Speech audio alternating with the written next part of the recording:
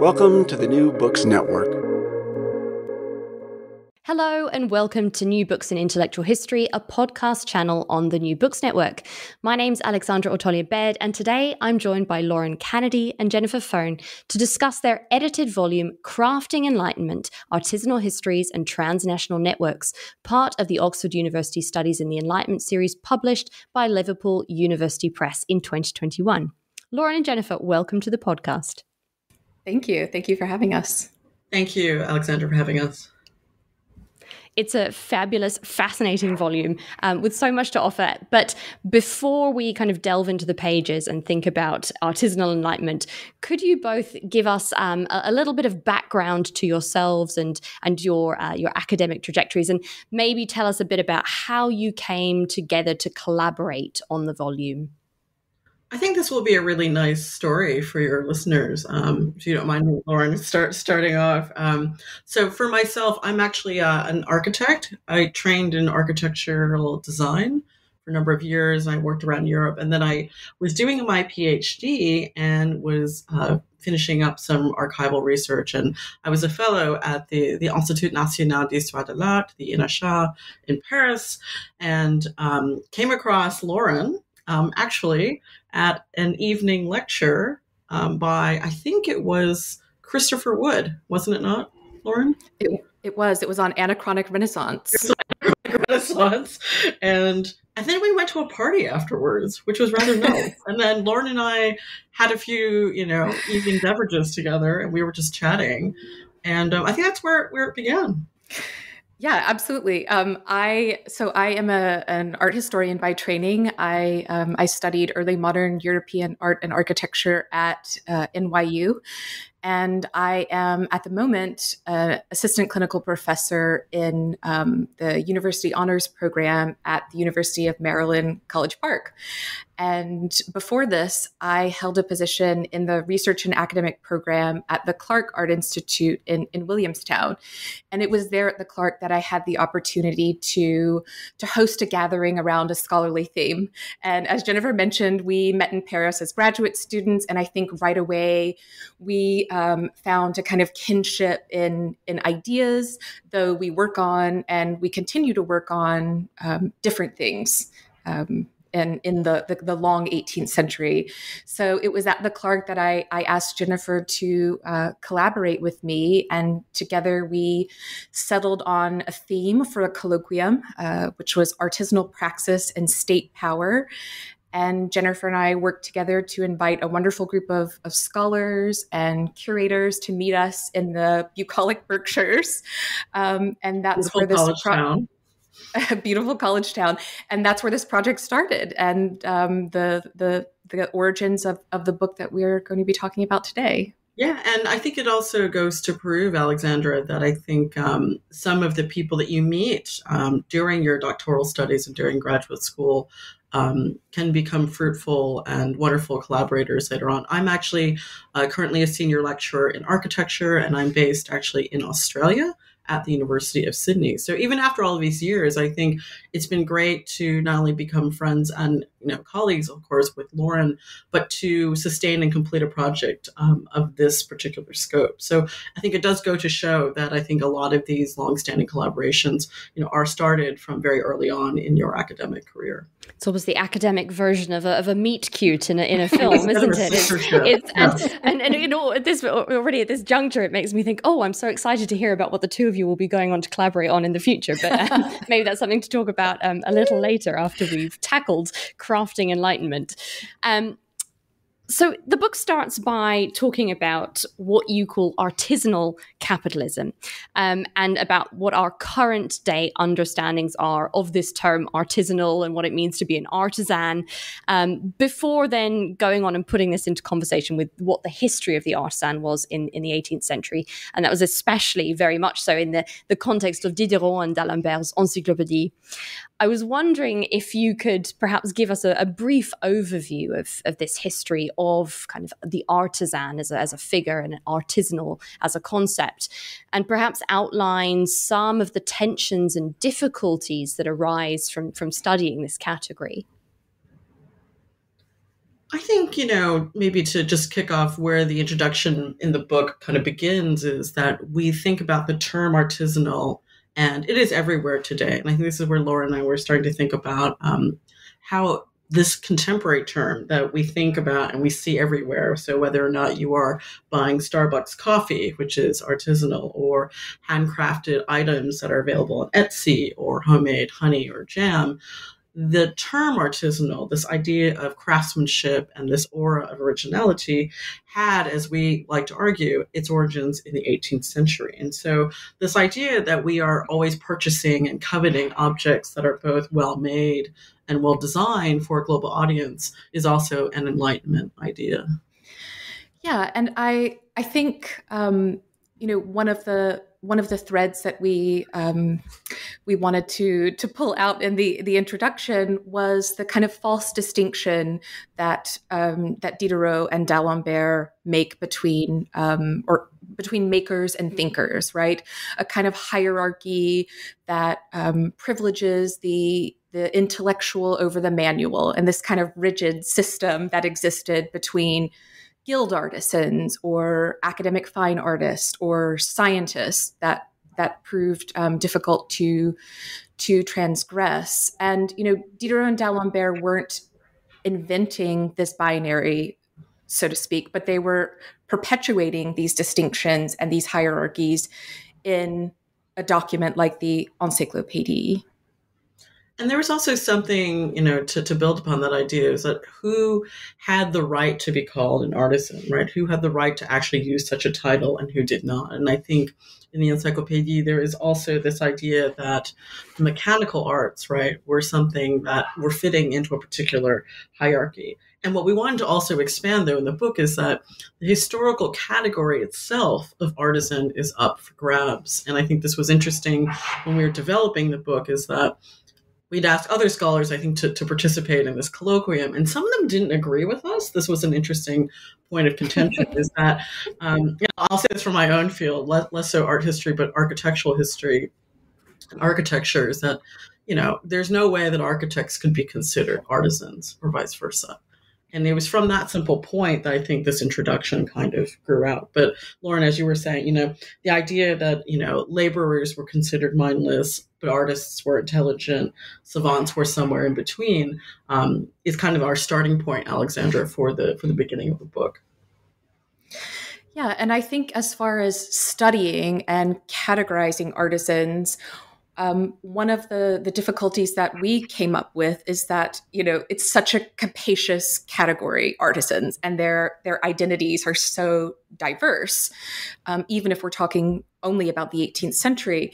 And you know, we came up against like contemporary disciplinary boundaries, right? Like the scholarly research on artisans might come from sociology or the history of technology, the history of art, the history of science. And so I think with you know, from our perspectives, me being an art historian, Jennifer being an architectural historian, and us having read rather widely and and thinking about artisans in our own work, we thought, you know, how how diverse of a group of scholars and curators can we bring together to to think productively about these questions about who was an artisan how do we how do we categorize them how do we study them and it's so fascinating to think that you're in many ways echoing so many of those discussions that were probably going on around the encyclopédie regarding these categories that were that were going on and that we're still we having like struggling. The, the 2017, 2018 version of these uh, conversations, I like to think. And so, no less than important to the volume. So we've talked we talked a little bit about the artisans and this kind of idea of artisanal history, but the kind of the other side of this is the idea of the transnational network, and this is within your title, but it obviously resounds throughout the volume. Um, and these are the networks within which artisans that were either kind of moving quite literally, or within which they can be situated, and that's either, I guess, on a more conceptual or kind of more theoretical basis.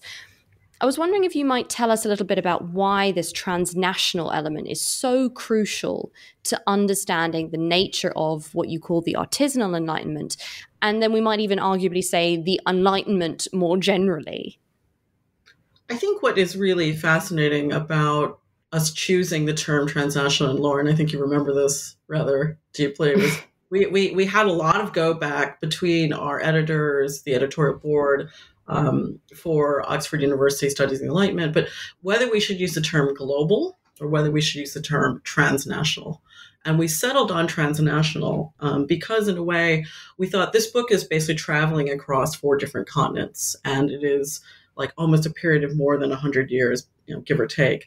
But we wanted to focus on both synchronic and diachronic ideas of history um, through these bottom up narratives that come up through the book, right? So the fact that something might be happening um, in Qing Dynasty China is not necessarily the same thing because it hasn't really happened yet in colonial Australia, or it's already kind of happened a little bit in in the mainstays of Europe, right? So if we can imagine like the the transnational networks are not necessarily lines on a map, even though we've got a map, I think, on the cover of the book, uh, which is the irony. But but I like to think I think that and and you know we discussed this at great length, which is that the book itself was uh, a series of points or epicenters on a map, right? That in a way, they weren't the traditional routes. So they're not trade routes, they're not mobility routes. This has been discussed particularly in the early modern period, but they were epicenters that would become activated or they were fade over time, right? And so these different locations across the world were, were almost turned on uh, by these uh, by these artisans, by their interventions in historical events or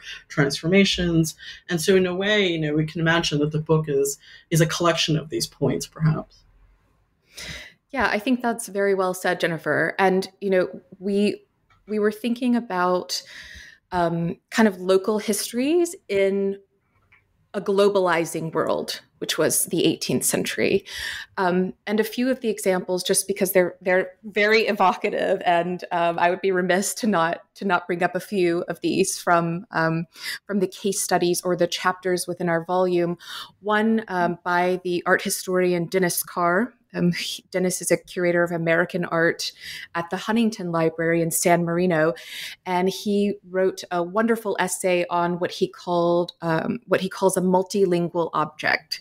So this um, this desk cabinet that was made in Puebla, Mexico, and Dennis writes about this object speaking the language of the colonizer and the colonized.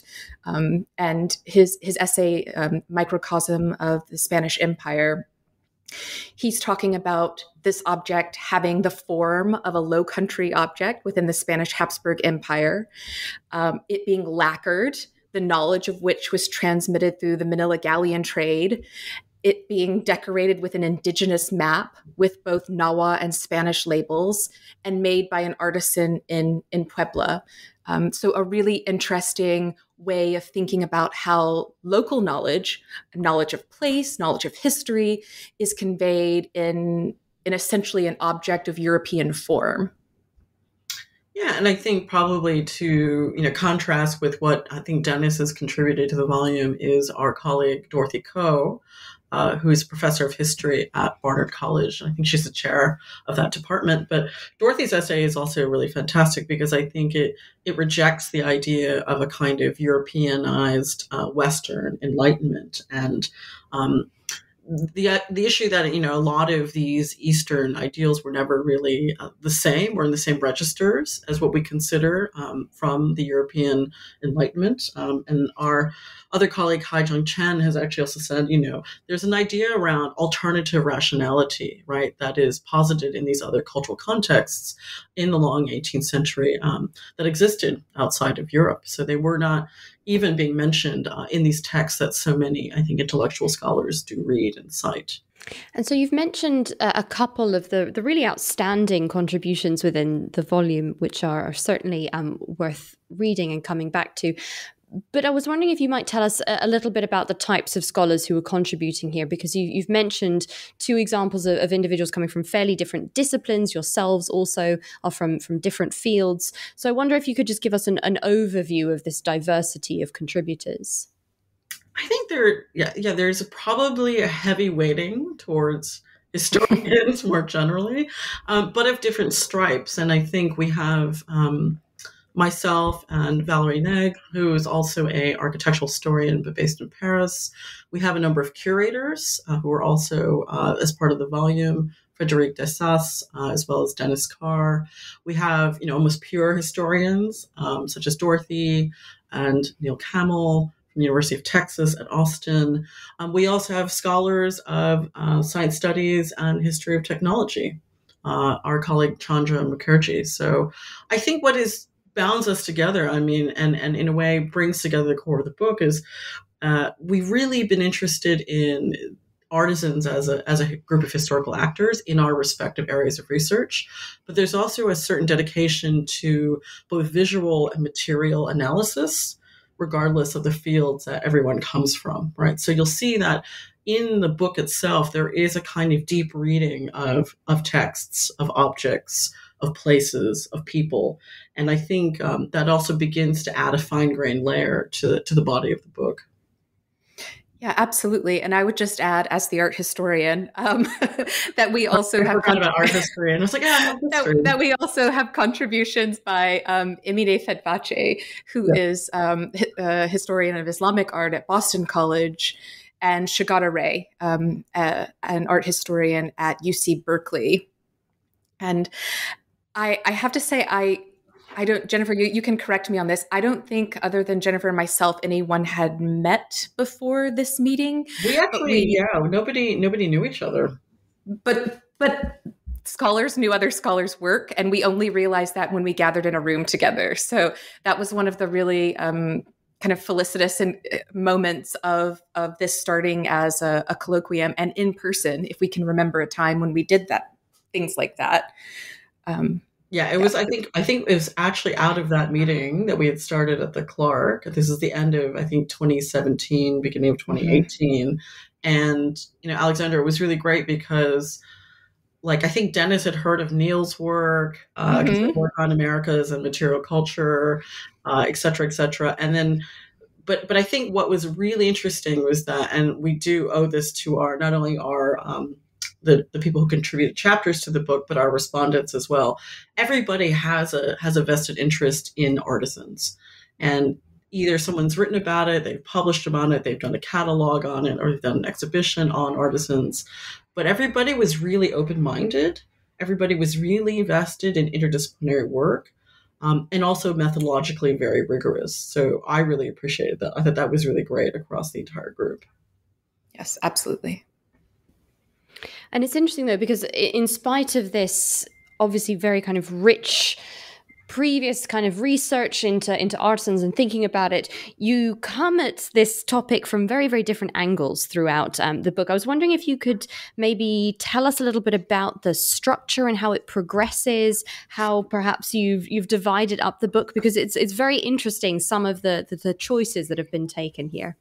Yeah, I think that's a that's a really good question to pose, Alexander, because I think, you know, Laura and I had discussed this at length, which was how to keep the book's kind of central narrative on course, but embracing the diversity of cultural contexts that were, you know, was represented in the volume. And what we had settled upon, if you think about it, the book is arranged in in threes, almost like threesomes. So each section has two chapters by two leading scholars, and then a third is a kind of respondent um, or you know commentator if you will. But the the third response kind of brings together the two previous themes of the of the before of the two chapters.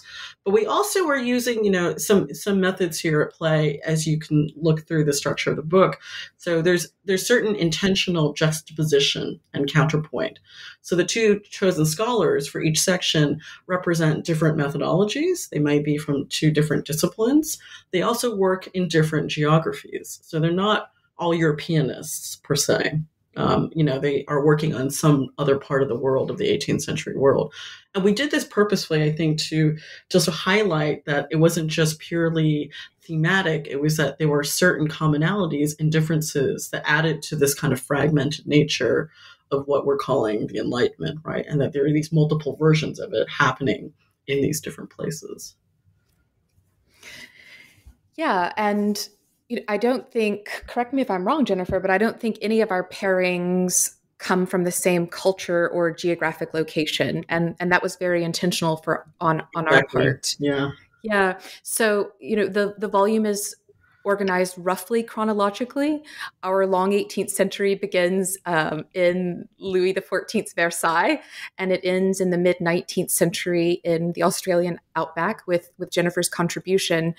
Um, and you know, one of the, the pairings, to give an example of the first um, by by Chandra Mukerji and Emine Fetvacı, is a section entitled "Envisioning Artisanal Histories," and you know, we found parallels in our you know in our conversations in Williamstown and and in their um, the their the chapters they submitted in the artisanal production at the French and Ottoman courts, right?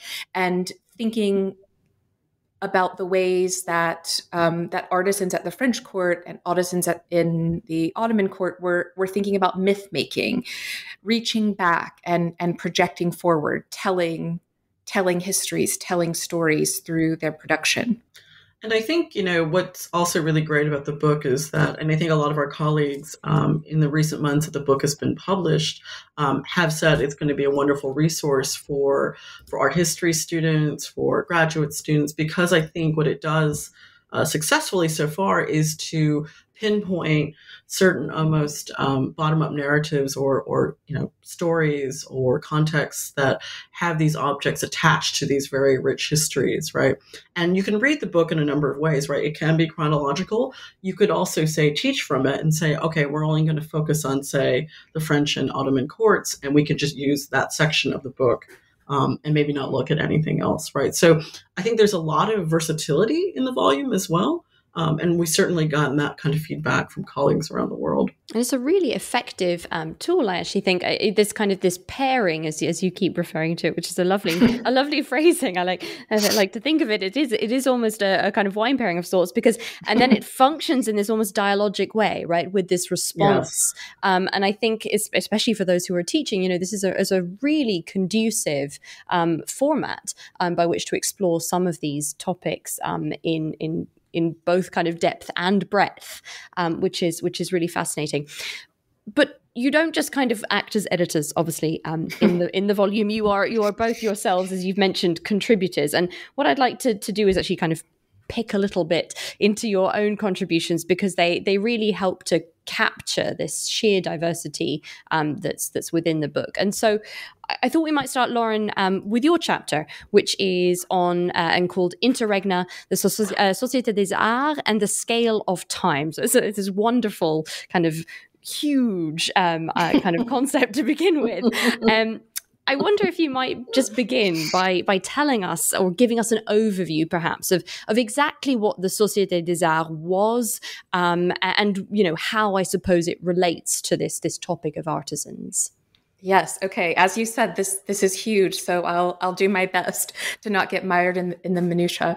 Um, the so the Société des Arts was a, a group of artisans, a collective in France, in Paris specifically, um, and it was a group whose members were dedicated to technological innovation and advancement of the mechanical arts. So this is like a quintessential Enlightenment project, really, much like the Encyclopédie was. Um, members included uh, clockmakers, engineers, painters, sculptors, architects. There was a musician, a geometer, naturalist. Um, and the group was initiated in 1728 um, by a clockmaker and a priest. So the clockmaker um, named Henry Sully and Languet de Gergy, who was the Jesuit parish priest of Saint Sulpice in, in central Paris. Um, the Societe in 1730 published its statutes, and um, the statutes for the group encouraged members to concentrate on um, geography, navigation, mechanics, civil and military architecture, but of course, without neglecting any of the other arts, be they useful or simply pleasurable. So, in, in theory, this sounds like a society for the advancement of the French state, right? The advancement of, of French industry. And this was a kind of collaboration or a, um, a, a, yeah a space of collaboration for artisans who were guild masters, who were restricted to working within the guild system, the medieval guild system in Paris. But it also um, also contained um, artistic and scientific academicians. Um, it was patronized by the aristocratic Comte de Clermont, who was also a parishioner and a neighbor of the Saint Sulpice Church, and the group met regularly at his home. Um, they published their findings, the inventions of their members. They occasionally awarded internal prizes. And what what really interested me in this group initially as an art historian was the fact that there were painters, architects, and sculptors who were already members of the Royal Academies. So they already had that kind of recognition and that membership in, in a, you know, the highest society they could join. Why they were attracted to this Société des Arts, right? Why they were interested in joining a collective that included clockmakers and engineers and naturalists um, and you know, it's I'll, I don't know if you have other questions for me, Alexandra, or if you want me to. I just... mean, I could I could keep going all, all day, but no, please, please do continue. Um, but I guess that ended up only being part of the question. Uh, I thought it would. I thought my my research would lead me more into into um, thinking about that kind of hierarchy and distinction between the manual and intellectual as our conversation started this afternoon. But I realized that um, it had so much more to do with with Catholic factionism and patronage within and around this this um, very powerful parish in in central Paris and that's definitely something that I wanted to pick up on. Um, was this was this religious religious dimension? But I think it's it's really interesting that you you kind of speak about it as this almost Enlightenment microcosm. I mean, not that it was a microcosm. I mean, it was a fairly large society, but it, it very much reads like that. The chapter, you know, that this was almost a, a kind of a synecdoche for for so much of, of the Enlightenment. Um, but just to pick up then on this on this kind of religious dimension, because what you do in the chapter is really unravel these connections between the theological political and economic um, instabilities of France and the revival then of the Société in the 1730s. I was wondering then if you might just tell us maybe a, a, few of or some of the ways in which these connections are manifesting themselves in the activities and the outlook of the Société. Yes, absolutely. So you know, I, the the group came about um, as a as an initiative of the regent, the Duc d'Orléans, who was uh, Louis XIV's nephew, um, and as a way to kind of right the ship, so to speak, during the Regency years, 1715 to 1723. Um, France was a mess when he when he stepped in as regent. Um, they were overexpanded, overdrawn, in debt. Um, the the future of the the monarchy was was in question um, with the death of the long serving Louis XIV. And so one of the the initiatives of the regent was in addition to backing the banking system of the Scottish economist John Law and enabling certain religious tolerances against the, the Huguenots and the Jansenists um, was to double down on mercantilism and French industry, the technological advances that he really saw that would just that would serve the state and clockmaking was one of them. And france was very much in, in competition with with england here and so he asked um, the Abbe Jean Paul Bignon, um, the Abbe Bignon, to um, to initiate uh, an earlier iteration of the the Société with the clockmaker Henry Sully, and the their energies were supposed to be um, directed towards um, maritime navigation and solving the uh, the question or the problem of, of longitude. And this is something that Sully Sully worked on, and he had um, financial support of of the regent um, and the backing of John Law. Uh, and he kind of struggled with this, as as we know, um, clockmakers did in the in the first decades of the 18th century. And so, by the time that the society was revived in the in 1728, um, again, the um, Duc d'Orléans was no longer regent at this time. The Abbe Bignon decides that he doesn't want to be a patron. He's not going to support this, and I I think, or I argue in my in my um, chapter that the reason for this has to do that that Bignon was from a family of parliamentary Jansenist, and um, the parish priest de Gergy was um, very much using the the members of the Société des Arts to outfit and ornament his parish church of Saint Sulpice. Um, and so, one of the ways that he kind of reinitiates the Société des Arts is by asking Henry Sully to come in and construct a gnomon um, on within the, the church of Saint Sulpice. And the um, the original markings that that Sully drew uh, can still be seen. You can you can walk right across them um, within the Church of Saint Sulpice. And it's interesting um, because obviously you're, you're, working more kind of literally in part of the chapter, but this, this idea of time comes up mm. at, at, multiple points, not just in your chapter, but but throughout the book. I was wondering if if maybe you might say just a little bit about how that kind of dips in and out, perhaps as a, as a leitmotif or even a larger theme, we might say. Yeah, I um, I don't know that I had had thought about time necessarily in that way.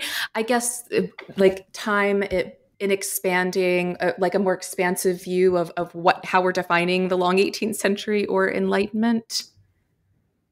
But I think the actual notion of time, yeah, is and space actually even is mm. probably um part of the subtext of the book as well, because I think not just the elasticity, I think, of the long 18th century, but but even like you know the like how time is is uh, captured or visualized, measured, right? Like if we think about the earlier examples uh, from Emine and um, Chandra's mm-hmm. chapters, mm. um, you know, visual spectacles um, that were made for either the French king or the Ottoman Sultan, right? We're also we're also temporally uh, very short-lived, right? So as a form of visual and material display, right? This, these are also mm. things that are not uh, long-lasting per se.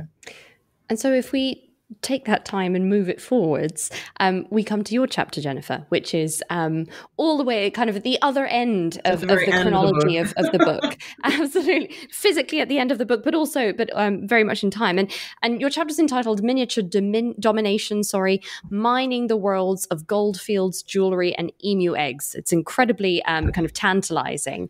Um, and here you look at the exchanges between European settlers, indigenous peoples, and the natural environment as well in 19th century Australia. I was wondering if you might tell us a little bit about the character of what you kind of refer to as the 19th century Australian Enlightenment, which might be a, a concept that's perhaps less familiar to those who, who might work on the more traditional Enlightenment traditional of perhaps the, yeah. of the French in particular. I, think this was also another really, uh, you could say, contentious point of the book. And I think when I first proposed this, um, even to our group of authors, I think a lot of them were like, well, you know, but it's outside of the 18th century because it's you know, the 19th century. And I, you know, the argument I want to put forward, and, and I say this in the chapter, is that in a way, much of the European ideals that were later translated into the Australian context you know happened almost 100 years later right? So it's not to say that the some of the ideals were also changed which i'll give examples of but but the idea that in a way you know many of the european settlers and the artisans that i write about in my chapter were austrian british or german. And you know when they settled and, and arrived uh, in australia and this was not until let's say the mid 19th century um, they brought a lot of the, the similar techniques that they've learned um, in terms of craftsmanship uh, from uh, continental Europe to to New Holland, so to speak. Um, but I want to kind of unpack this a bit more, which is that, you know, I think the European settlers were the beneficiaries in a way of, of Enlightenment ideals when it came to Australia, meaning they understood the value of hard labor and this is something I kind of discuss is that they were really interested in working the land and the idea that um, they could morally improve themselves uh, by working uh, very hard, right, and working through uh, acquiring this territory. But I think at the same time that this territorial expansion was based on values of utility and industry, um, there was a heavy cost of displacing Aboriginal Australians.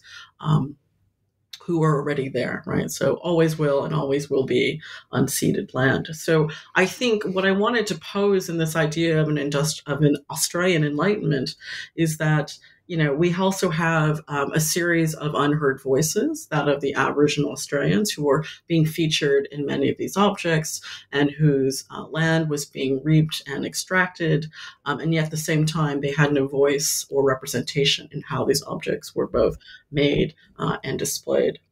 And I, I, personally, I find it an incredibly powerful and, and, convincing argument that you make here. And I think that I, am sure those who were perhaps skeptical of the time frame that you kind of presented um, initially at the at the workshop or conference, you know, have probably I, I, think again. they were like, "Have you lost your mind, or have you not checked the Have you not checked the long 18th century recently? only goes backwards; it doesn't go forwards into the 19th century."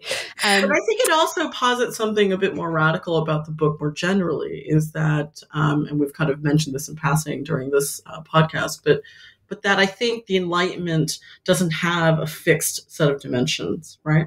Mm-hmm. If we mm-hmm. were mm-hmm. really mm-hmm. going to be very good intellectual historians about this, right? We would be wanting to look at all of these different circumstances. So Australia, in this sense, w- was really an outlier, but at the same time, it benefited a lot from these connections uh, to Europe. And at the same time, I think, and you see this um, as another set of arguments within the book is that there are absences in the archives, right? There are lack of represent, uh, representative texts uh, for Aboriginal mm-hmm. Australians. Many of their objects and artifacts have not survived since the early 18th century, even since the Dutch invasion. So, you know, there are all these gaps, say, um, in how we materially analyze some of these forms of evidence, right? So, the fact that we have an Australian Enlightenment or we don't have an Enlightenment in Qing Dynasty China, it shouldn't matter, right? The fact that these ideas uh, erupt in different times and different moments, I think, is also part of the core of intellectual history. And I can confirm that in the end, Jennifer convinced everyone. So I had to, I, I did have to go around and, and, and, and do a little bit of um, lobbying for my, my idea. But um, but I think yeah, I mean, I, I could tell you a little bit more about the objects themselves but. Maybe that's a good um, segue, which is, you know, I brought these objects first um, as images to the to the Clark colloquium, and it's funny because I've lived in Sydney now for about almost eight to nine years. I kept seeing these emu eggs appear in secondhand shops, and I was just like obsessed with them. You know, they were tiny little emu eggs. They were cast in metal. They had these miniature, you know, uh, Aboriginal figurines, and they had kangaroos and little emus in them. Uh, and I was just like, where, what is, what is the story behind these objects? And I had a fortuitous meeting actually with a curator, uh, Eva Czernis-Ryl, who is, I think, at the Powerhouse Museum here in Sydney.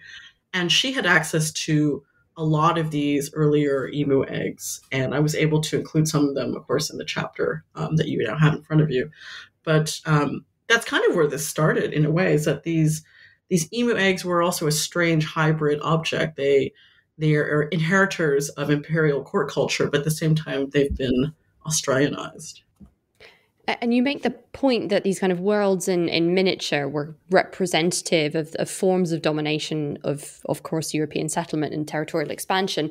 So I'm wondering if you might perhaps and tell us just a bit about, you know, the makers of of these mm-hmm. particular objects which i should say i mean it's such a sh- and once again I, I find myself lamenting that we can't show the pictures in the books mm-hmm. but um, i mean these are some some objects which I, I, think the average reader would probably not really have seen before they really are um, the word spectacular is is wrong, but um, they're they're very unusual, and and I I think that the, the, you know the average listener probably hasn't seen anything quite like these kind of combination of of silver and malachite and emu eggs um, oh, kind yeah. of mashed together think, in these and, strange and decorative to see them in person is so the Powerhouse Museum has a bunch of these emu eggs, um, of which I've kind of you know displayed a few of them, but but to see and actually hold them in person is really impressive. And the one thing that did strike me was that the craftsmanship of the objects was was mm. pretty unparalleled. Like it's well made, it's well constructed. But but to kind of go back a little bit, you know, emu eggs have also been used in, in Aboriginal cultures for for millennia, right? They've been used to mark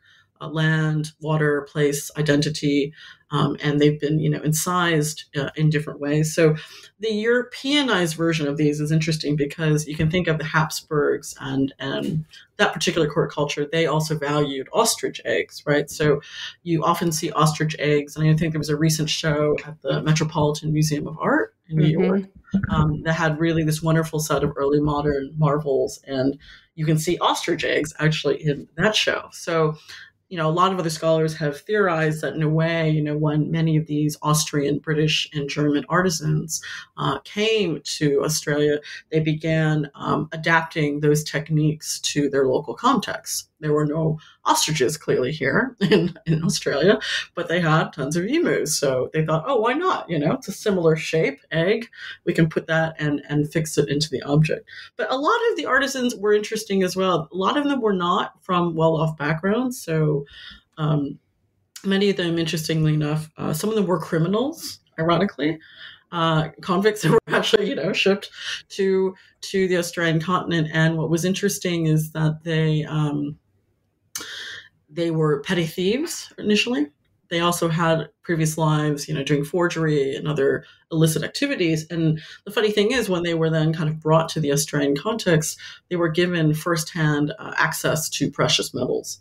So they were able to to work quite a bit uh, with with these kind of really precious uh, silver and gold and, and other types of resources. So I think that that's something that's pretty fascinating.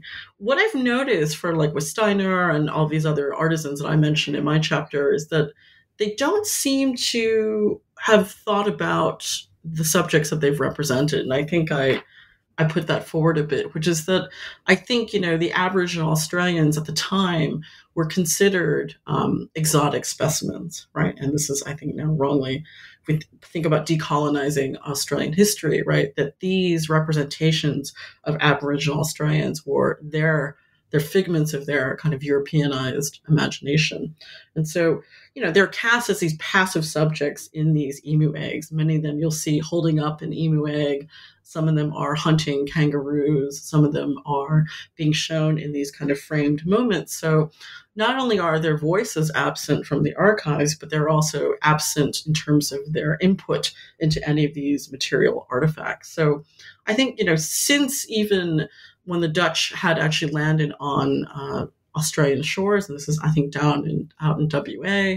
Um, there's always been this big uh, lacuna of, of kind of no non-information about how Aboriginal Australians have have entered into the kind of 18th century, and there's actually very little information about any of this. So I think, in a way, the also these objects represent a sort of irony is that the, the metal and the silver and the gold that was actually extracted from the land uh, caused massive amounts of displacements for many uh, First Nations peoples, for many Aboriginal Australians. And so you see that the souvenirs that have survived are really the products of this kind of uh, industrial extraction. And in kind of doing that, in in presenting this, I mean, they they ultimately are are presenting what well, you are presenting um, these artisans as, as very political figures, um, and I think that's something that comes out throughout the book more generally is this idea of artisans really as intellectual practitioners and political figures and those and actually carrying a great deal more agency and perhaps responsibility um, throughout time and, and across space um, than perhaps they have been given I guess, um, kind of responsibility for um, yeah. by historians over time. And I, I, wonder if you might kind of want to say something a little bit about this this kind of shift that you're seeing uh, across the book in terms of, you know, the role of the artisan as a kind of much more dominant political figure. Yeah, I think you know Lauren and I were were thinking this over. Uh, you know, kind of after this book has been published and and reflecting back on kind of the the work that's inside it. But but the fact that I think is artisanal histories are also fundamentally um, histories of colonization, of imperialism, of decolonization, of resistance, of oppression, of migration. And so, in a way, you know, they are key historical actors just as much as, say, military, political figures, scientists, um, or well known figures of the Enlightenment or philosophers, right? So, why not champion the artisan? Yeah, and there are examples in our volume two of artisans participating in in projects of colonization, right? So, um, artisans as makers of technologies and um, objects, and and being complicit in um, in colonialism. That's certainly the case in in my essay, um, where with the the clockmakers working on the gnomon and and longitude, um, that they are participating in the you know the French colonial machine. And that links very nicely i think back to your introduction when you're talking about this this idea of artisanal capitalism. And you've talked about starbucks and etsy and all of these you know large corporations you know using the term artisanal and, and kind of co-opting that.